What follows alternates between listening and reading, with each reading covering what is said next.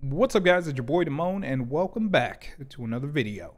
Today we are talking about 10, 1, 2, 3, 4, 10 things that you need to know before you start playing Diablo 4 at launch. Now the reason why we're talking about this so early is because the game comes out in two weeks and I want you guys to have ample time to start thinking about these steps and also some steps that you guys will need to do as soon as you get into the game.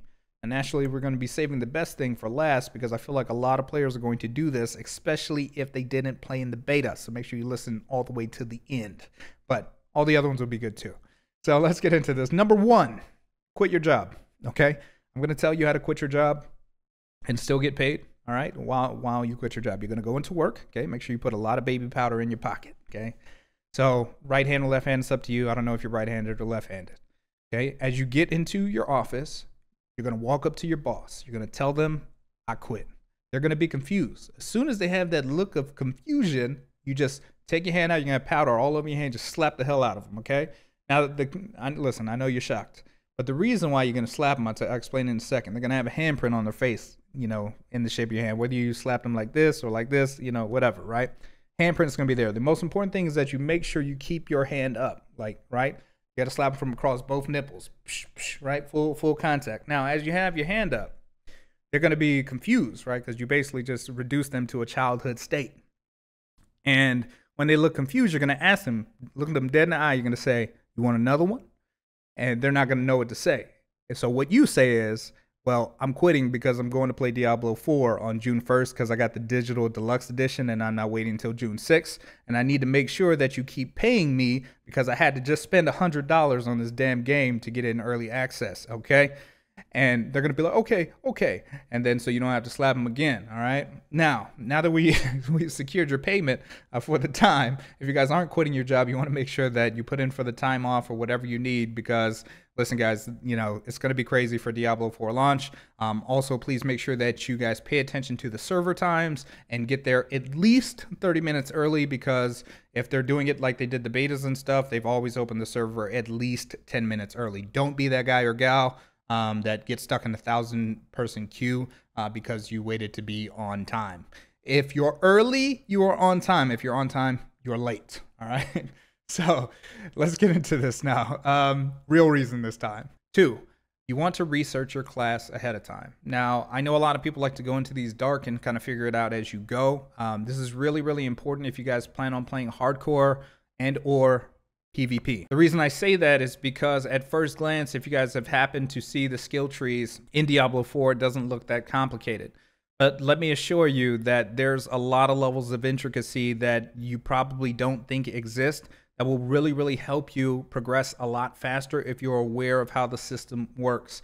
So using things like a Diablo 4 Talent or Paragon calculator that you're able to kind of spec out your character or build a character or see what the skills are going to be in the game is really going to help you, especially if you plan on playing from a competitive leveling or competitive standpoint against other players.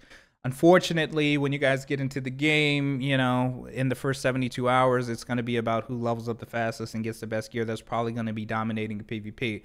So, in order to leave yourself in a much better position, you want to do your research ahead of time. That brings us to number three. And number three is going to be to understand your stats. Now, this kind of ties into the last thing that I said. And this is also really important why you want to research your classes that you plan on playing because stats influence different classes differently. And they also influence how you're going to build your character. So, for example, if I was using a barbarian and I wanted to focus on building a dodge tank, then dexterity is going to be incredibly important to me. Or if I wanted to focus on a tank build, a high armor, then I'm going to be focused on strength. But paying attention to each of these stats and how these stats are going to influ- influence the class or style that you're going to play is going to be incredibly important to understand before you get into the game. Now, the next thing, guys, is I want to make sure that you guys understand that playing with others is actually a benefit. You guys get an XP bonus, okay? So even if you don't like people, you don't want to play with people, just have them within a certain radius so they serve their purpose so you can get the amount of experience that you need. If you're trying to level from a competitive standpoint, then you want to make sure that you're getting as much experience as you can. And with that being said, it brings us to the next one, which is number five, which is understand that there are consumables in the game. Okay, craftable consumables. Um, it took me a long time to realize this because I wasn't paying attention. I was just skipping through. I just wanted to kill stuff.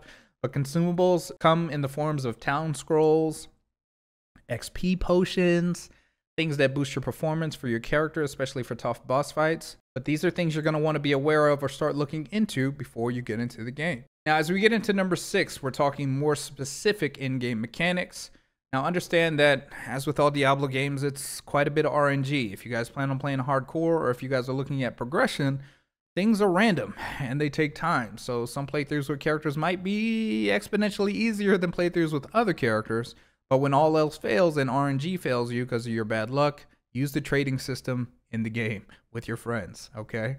Leverage your time. Now, while you're leveraging your time though and you're in combat, one thing you definitely want to be aware of is that each class has its own healing ability for self-sustain. If you guys plan on playing hardcore and or PvP situations and or just tough normal PvE situations, your ability to understand that your class has a healing ability that you can use to keep yourself alive will make the world a difference, especially until you're able to upgrade your potions and or just get to the point where you don't need the self-healing ability anymore. So the next thing, don't worry, we still got a couple more and we saved the best for last. But the next thing is you guys are going to make sure that you get your goddamn horse, okay? Do not be this guy and wander through the entirety of the game wondering why you're running around the entire map so slow and everybody's getting everything done.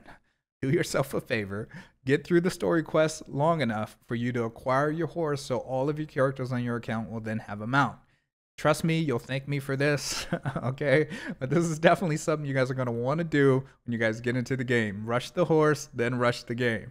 Now, while you guys are rushing the game, there's a big thing that I think a lot of players will fall into, and that is going to be speed farming dungeons, especially since dungeons reset so fast. What I invite you to do, though, is not get caught up in the dungeon farm or same dungeon farming and make sure that you do all the dungeons to get the unique aspects first, and then go back and farm for experience later. Now, last but not least, Big 10. This is the most important thing. All right. If you are a player that is similar to my playstyle, meaning you don't want to waste time talking or learning about people's backstories or their zodiac sign or their personality or any of that, and you just want to get in there and start slaying zombies and ghouls and berserkers and all kinds of craziness, please do not write off your story quests, okay? The reason why I say this is because once you get to a certain point, level 15 typically, they are going to send you a notification hey, do this quest and you're gonna look at that quest and be like, I ain't doing no damn quest. I'm focused on killing. But I need you guys to understand, especially if you guys did not play in any of the betas or you guys don't understand how class specializations work. When you do your class specialization quest, it opens up the rest of your character potential.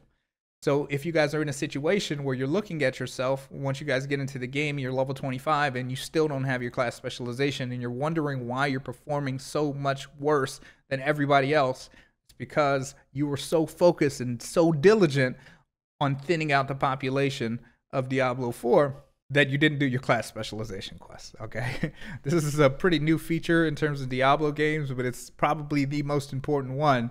So I wanted to make sure that you guys were aware that this was a thing before you guys come into the game. So with that being said, guys, I just wanted to take a little bit of time, maybe make you laugh, talk about some key things that I want you guys to be aware of as we start gearing up for launch, so you guys don't make these mistakes when you guys get into the game, so you guys are prepared as possible.